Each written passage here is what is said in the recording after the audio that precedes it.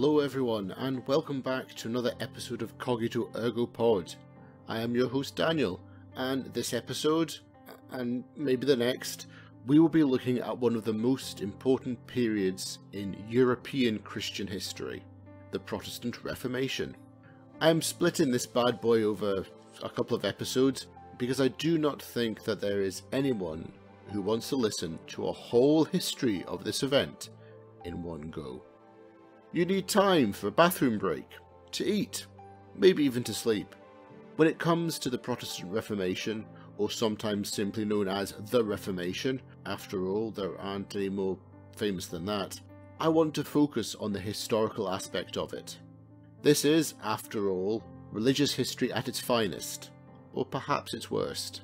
We will look at what led to it, who the key players were, or more like the key player was, and the events that lasted over a hundred years in the 16th and 17th centuries. This episode will focus on the events surrounding why the Reformation happened, and a brief, in inverted commas, biography of the man credited with starting the whole party off, Martin Luther. I do not want to get bogged down in theological semantics, so I will try to keep it focused mostly on the historical aspect. To look properly at the theology would require a shedload more episodes, and for me to give up working and to research on it full time. So with that in mind, and with a deep breath, let us begin. First off, we have to begin by looking at the state of things pre-Reformation. It cannot be denied that Christianity was no stranger to change and challenges. The historical context behind the European Reformation has been building up for more than a century before Martin Luther came on the scene. John Wycliffe, 1328 to 1384, had questioned the, the, privileged status of the clergy, which had bolstered their powerful role in England and the luxury and pomp of local parishes and their ceremonies. According to tradition, Wycliffe and his associates were said to have completed a translation of the Bible direct from the Vulgate into Middle English, a version known simply as Wycliffe's Bible. However, any origin for the events of the early 16th century can be traced back to the beginning of the 1400s. At this time, there were two claimants to the papal throne, one in Rome, one in Avignon. This world of Pope and anti-Pope Catholic politics was nothing new, as you'll recall from a previous episode. However, it was resolved at the Council of Constance between 1414 and 1418. It was also at this time that the Hussite movement, which followed the teachings of reformer Jan Hus, was founded in what is now the Czech Republic. Jan Hus, lured by a letter of indemnity, was tried for heresy and put to death at the stake on the 6th of July 1415. The Hussites found the Hussite War from 1420 to 1434 for their religious and political cause, which unfortunately they lost. This Hussitism was a major basis for future possible Protestantism if there was ever any reason to oppose Catholic doctrine in the future. It was also around this time in Germany that a goldsmith by the name of Johannes Gutenberg invented the movable type printing press. This revolutionary new way of printing pages would enable up to 3,600 pages to be printed in one workday, compared to 40 pages by hand printing and only a few by hand copying. Information could be disseminated quickly and new ideas spread much faster than before. Now, there are three words I need to go over connected to both pre-Reformation and Reformation Europe before we go any further. The words purgatory, indulgences, and simony. Purgatory is, according to the belief of most Christian denominations, including the Roman Catholic Church and the Eastern Orthodox churches, an intermediate state after physical death for expiatory purification. As a noun, it appears perhaps only between 1160 and 1180 CE, giving rise to the idea of purgatory as a place. The Catholic Church found specific Old Testament support in afterlife purification in 2 Maccabees 12 42 45. part of the Catholic biblical canon, but regarded as apocryphal by Protestants. At the Second Council of Lyon in 1274, the Catholic Church defined for the first time its teachings on purgatory in two points. Number one, some souls are purified after death. Number two, such souls benefit from the prayers and pious duties that the living do for them. The prayers of the saints in heaven and the good deeds, works of mercy, prayers, and indulgences of the living have a twofold effect. They help the souls in purgatory atone for their sins, and they make the soul's own prayers for the living effective. It is, in effect, a holding pen for souls not quite ready to get into heaven. But have no fear, the works of the living can help speed up the movement of the soul from purgatory to heaven. Here is where the indulgence comes into it all. In the teaching of the Catholic Church, an indulgence, the Latin indulgentia, from indulgeo, to permit is a way to reduce the amount of punishment one has to undergo for sins. The recipient of an indulgence must perform an act to receive it. This is most often the saying, once or many times, of a specified prayer, but may also include a pilgrimage, the visiting of a particular place, such as a shrine, church, or cemetery, or the performance of specific good works. By the late Middle Ages, indulgences were used to support charities for the public good, including hospitals. However, the abuse of indulgences, mainly through commercialization, had become a serious problem which the Church recognized was unable to restrain effectively. Some commissaries sought to extract the maximum amount of money for each indulgence. Professional pardoners who were sent to collect alms for a specific project, practiced the unrestricted sale of indulgences. Many of these pardoners exceeded official church doctrine and promised rewards such as salvation from eternal damnation in return for money. With the permission of the Church, indulgences also became a way for Catholic rulers to fund expensive projects, such as crusades and cathedrals, by keeping a magnificent portion of the money raised from indulgences in their lands. There was a tendency to forge documents declaring that indulgences had been granted. Indulgences grew to an extraordinary magnitude in terms of longevity and breadth of forgiveness. False documents were circulated with indulgences surpassing all bounds, indulgences of hundreds or even thousands of years. In 1392, more than a century before Martin Luther published the 95 Thesis, Pope Boniface IX wrote to the Bishop of Ferrara condemning the practice of certain members of religious orders who falsely claimed that they were authorized by the Pope to forgive all sorts of sins and obtained money from the simple-minded faithful by promising them perpetual happiness in this world and eternal glory in the next. The Butter Tower of Rouen Cathedral earned its nickname because the money to build it was raised by the sale of indulgences allowing the use of butter during Lent.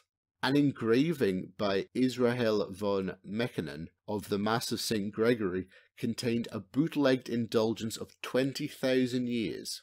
One of the copies of this plate was altered in a later state to increase it to 45,000 years. The indulgences applied each time a specified collection of prayers, in this case seven each of the Creed, Our Father and Hail Mary, were recited in front of the image. The image of the Mass of St. Gregory had been especially associated with large indulgences, such as the Jubilee year of 1350 in Rome, when it was at least widely believed that an indulgence of 14,000 years had been granted for praying in the presence of the Imago Pietas, Man of Sorrows, a popular pilgrimage destination in the Basilica of San Croce in Gerusalemme in Rome. Then we have the issue of simony, the act of selling church offices and roles or sacred things. It is named after Simon Magus, someone who has been mentioned before, who is described in the Acts of the Apostles as having offered two disciples of Jesus payment in exchange for empowering him to impart the power of the Holy Spirit to anyone on whom he could place his hands. The term extends to other forms of trafficking for money in spiritual things, Although considered a serious offence against canon law, simony is thought to have become widespread in the Catholic Church during the 9th and 10th centuries. By the 11th century, it was the focus of a great deal of debate. Central to this debate was the validity of simoniacal orders, that is, whether a cleric who had obtained their office through simony was validly ordained. In 1494, mere decades before Martin Luther, a member of the Carmelite order, Adam of Genoa, was found murdered in his bed with 20 wounds after preaching against the practice of simony. The idea of purgatory, indulgences, and simony were all bones of contentions for a great number of people. There was a very real internal conflict between adhering to the teachings of a Catholic Church, which provided alms for the poor, orphanages, and spiritual support for millions, and the moral conflicts which such dogmatic theology could have weighed on those who could see that there was something amiss. These are only some of the people and concepts which were influencing things at the turn of the century. All it needed was one slightly neurotic and famously constipated German to tip Europe into total religious turmoil. Let's meet him now. Martin Luther, born 10th of November 1483 and died 18th of February 1546, was a German priest, theologian, author, hymn writer, professor, Augustinian friar, and general all-round troublemaker. Hans Luther, Martin's father, was ambitious for himself and his family, and he was determined to see Martin, his eldest son, become a lawyer.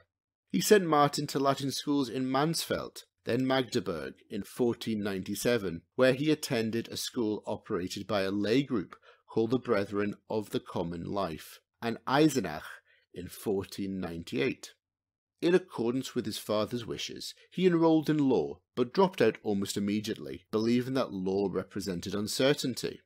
Luther sought assurances about life and was drawn to theology and philosophy, expressing particular interest in Aristotle, William of Ockham, and Gabriel Biel.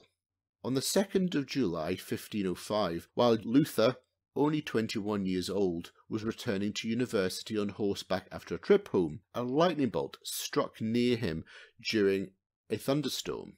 Fearful that he would die during the thunderstorm, he prayed to Saint Anna. He asked her to beseech God to save him from the storm.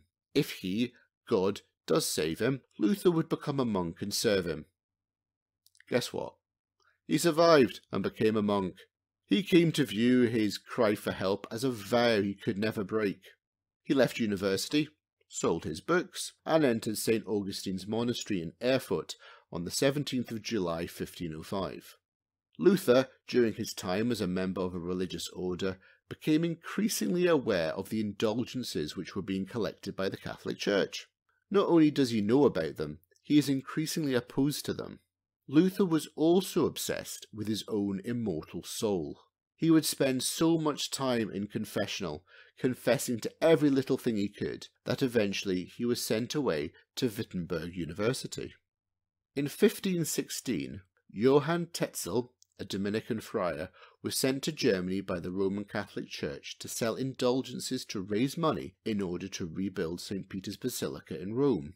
Tetzel's experiences as a preacher of indulgences, especially between 1503 and 1510, led to his appointment as General Commissioner of Albrecht von Brandenburg, Archbishop of Mainz, who, deeply in debt to pay for a large accumulation of benefices, had to contribute the considerable sum of 10,000 ducats towards the rebuilding of St. Peter's Basilica.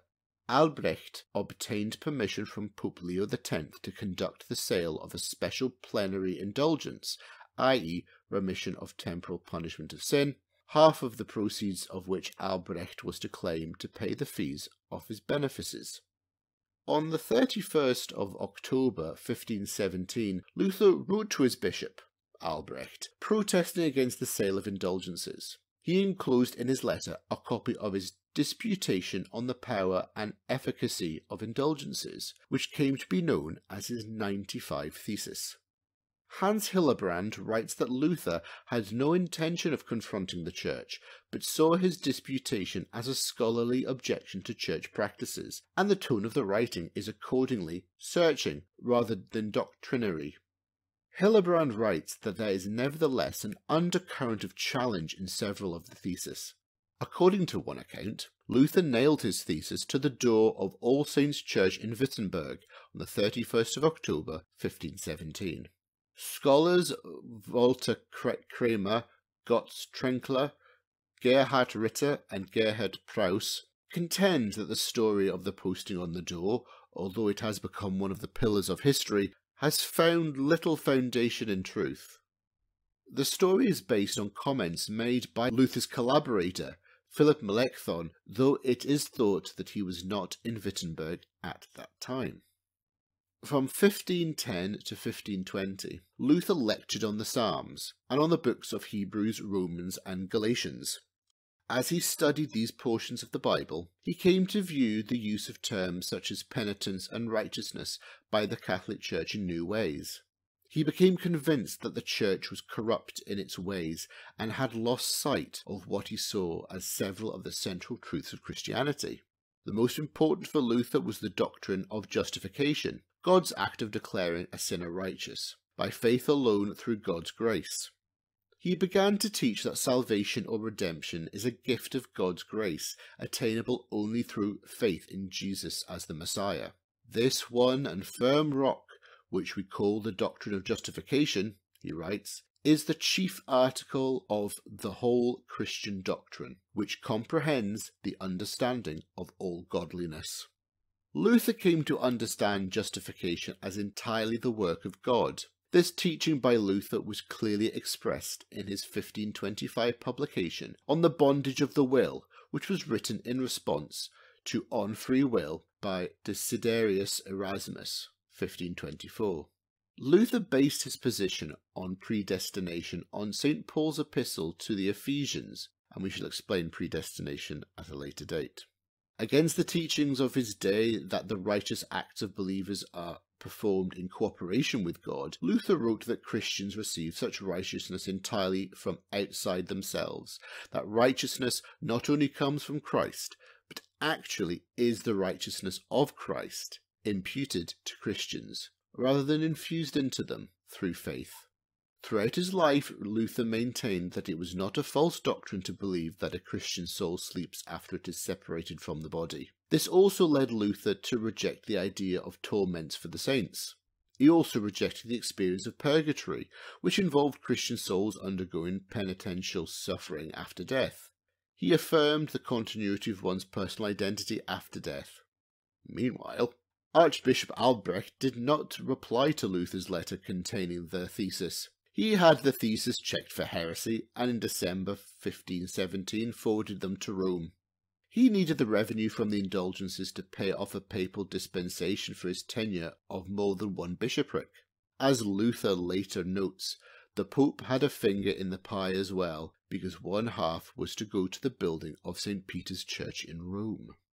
Over the next three years, the Pope deployed a series of papal theologians and envoys against Luther, which served only to harden the reformer's anti-papal theology. First, the Dominican theologian Sylvester Mazzolini drafted a heresy case against Luther, whom Leo then summoned to Rome. The Elector Frederick of Saxony persuaded the Pope to have Luther examined at Augsburg, where the imperial diet was held. Over a three-day period in October 1518, Luther defended himself under questioning by papal legate Cardinal Cajetan. The Pope's right to issue indulgences was at the centre of the dispute between the two men. The hearings degenerated into a shouting match. More than writing his thesis, Luther's confrontation with the Church cast him as an enemy of the Pope. His Holiness abuses Scripture, retorted Luther. I deny that he is above Scripture. Cajetan's original instructions had been to arrest Luther if he failed to recant, but the legate desisted from doing so. With help from the Carmelite monk Christopher Langenmantel, Luther slipped out of the city at night, unbeknownst to Cajetan.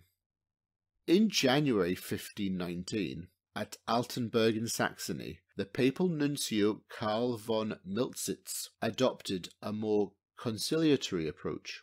Luther made certain concessions to the Saxon, who was a relative of the Elector and promised to remain silent if his opponents did. The theologian Johann Eck, however, was determined to expose Luther's doctrines in the public forum. In June and July 1519, he staged a disputation with Luther's colleague Andreas Karlstadt at Leipzig and invited Luther to speak. Luther's boldest assertion in the debate was that Matthew 16:18 did not confer on popes the exclusive right to interpret scripture, and that therefore neither popes nor church councils were infallible.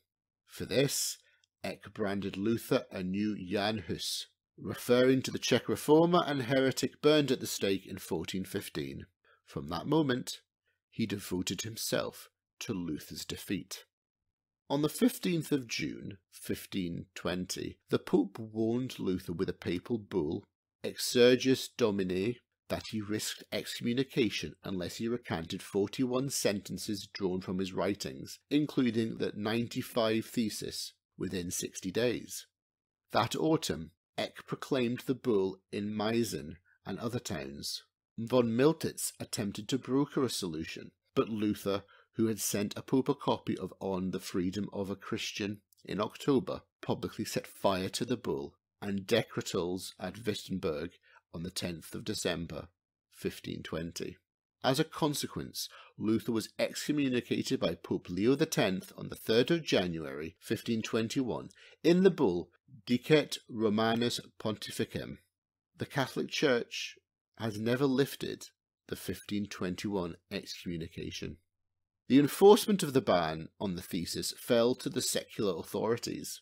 On the 18th of January 1521, Luther appeared as ordered before the Diet of Worms. This was a general assembly of the estates of the Holy Roman Empire that took place in Worms, a town on the Rhine. It was conducted from the 28th of January to the 25th of May 1521, with Holy Roman Emperor Charles V presiding. Prince Frederick III, Elector of Saxony, obtained a safe conduct for Luther to and from the meeting. Johann Eck, speaking on behalf of the Empire as assistant of the Archbishop of Trier, presented Luther with copies of his writings laid out on a table and asked him if the books were his and whether he stood by their contents.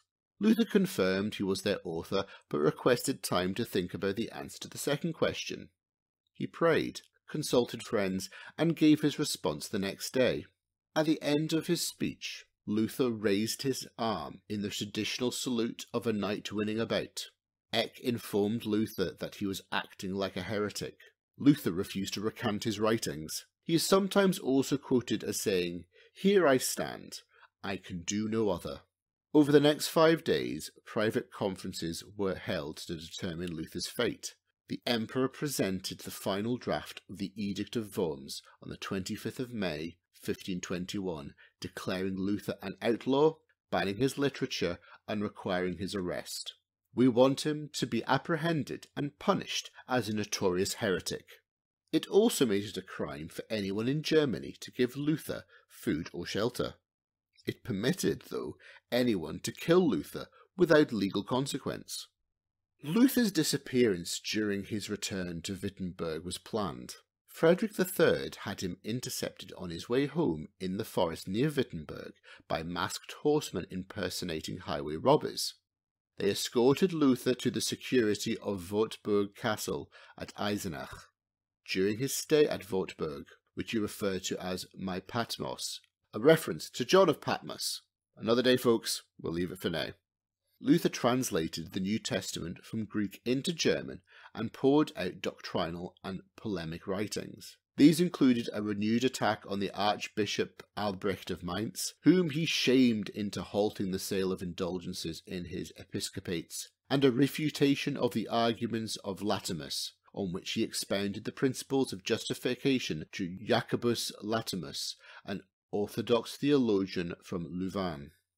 In the summer of 1521, Luther widened his target from individual pieties like indulgences and pilgrimages to doctrines at the heart of the church practice.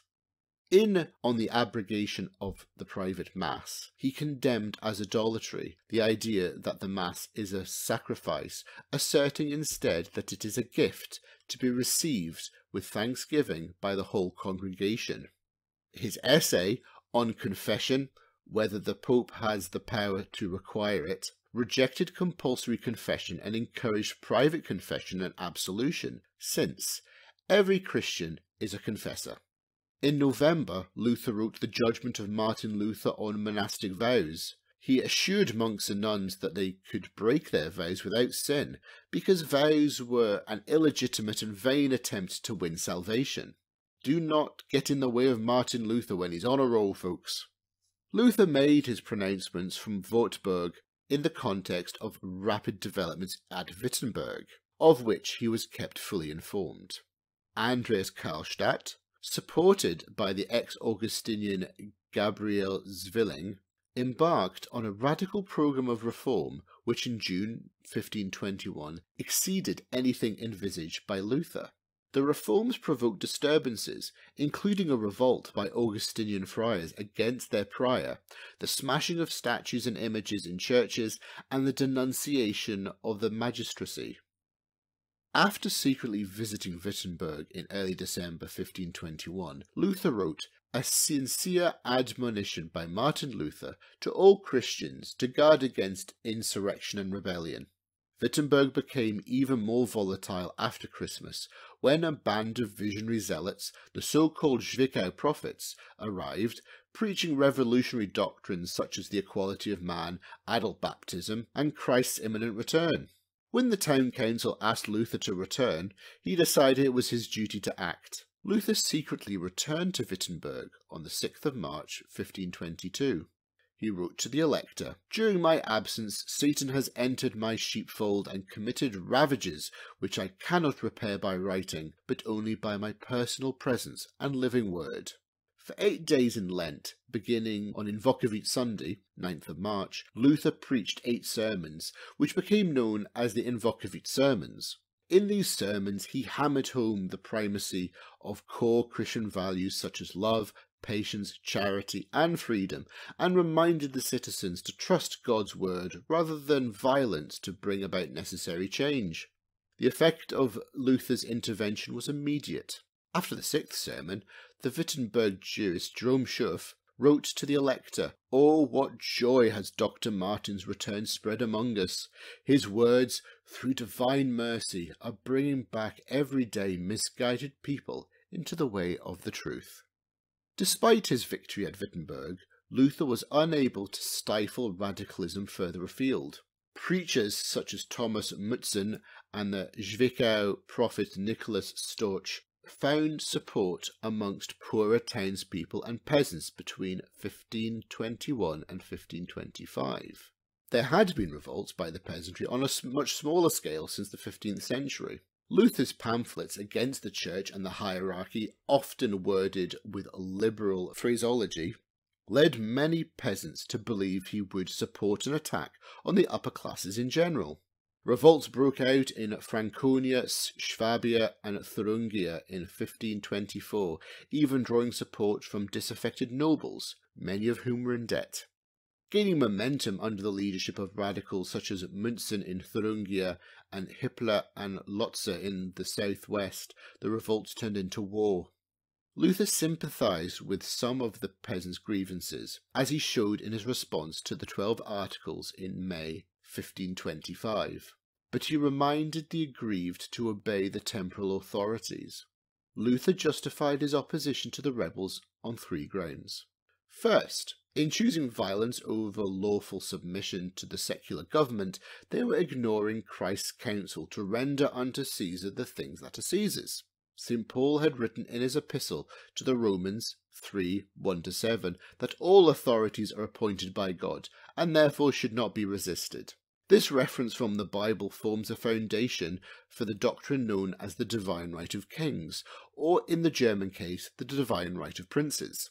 Second, the violent actions of rebelling, robbing, and plundering placed the peasants outside the law of God and empire, so they deserved death in body and soul, if only as highwaymen and murderers.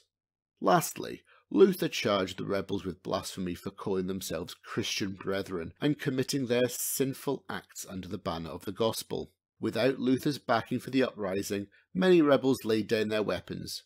Others felt betrayed. Their defeat by the Swabian League at the Battle of Frankenhausen on the 15th of May 1525, followed by Müntzer's execution, brought the revolutionary stage of the Reformation to a close. By 1526, Luther found himself increasingly occupied in organizing a new church. His biblical ideal of congregations choosing their own ministers had proved unworkable. From 1525 to 1529, he established a supervisory church body, laid down a new form of worship service, and wrote a clear summary of the new faith in the form of two catechisms. To avoid confusing or upsetting the people, Luther avoided extreme change. He also did not wish to replace one controlling system with another. He concentrated on the church in the electorate of Saxony, acting only as an advisor to churches in new territories, many of which followed his Saxon model. In response to demands for a German liturgy, Luther wrote a German Mass, which he published in early 1526. Luther based his order on the Catholic service but omitted everything that smacks of sacrifice and the Mass became a celebration where everyone received the wine as well as the bread. He retained the elevation of the host and the chalice, while trappings such as Mass vestments, altar, and candles were made optional, allowing freedom of ceremony. Luther devised the Catechism as a method of imparting the basics of Christianity to the congregations. In 1529, he wrote the Large Catechism, a manual for pastors and teachers, as well as a synopsis, the small catechism, to be memorized by the people. The catechisms provided easy understanding, instructional and devotional material on the Ten Commandments, the Apostles' Creed, the Lord's Prayer, baptism, and the Lord's Supper. Luther incorporated questions and answers in the catechism so that the basics of the Christian faith could not just be learned by rote, the way monkeys do it, but understood Luther's small catechism proved especially effective in helping parents teach their children. Likewise, the large catechism was effective for pastors. Luther had been suffering from ill health for years, though, including Meniere's disease, vertigo, fainting, tinnitus, and a cataract in one eye. From 1531 to 1546, his health deteriorated further.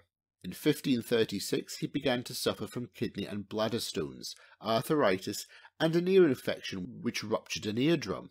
In December 1544 he began to feel the effects of angina. His poor physical health made him short-tempered and even harsher in his writings and comments. His last service was written at Eisleben, his birthplace, on the 15th of February 1546, three days before his death. It was entirely devoted to the obdurate Jews, whom it was a matter of great urgency to expel from all German territory. Ugh, can't escape the anti-Semitism. At 1 a.m. on the 18th of February 1546, he awoke with more chest pain and was warmed with hot towels. He thanked God for revealing his son to him in whom he had believed.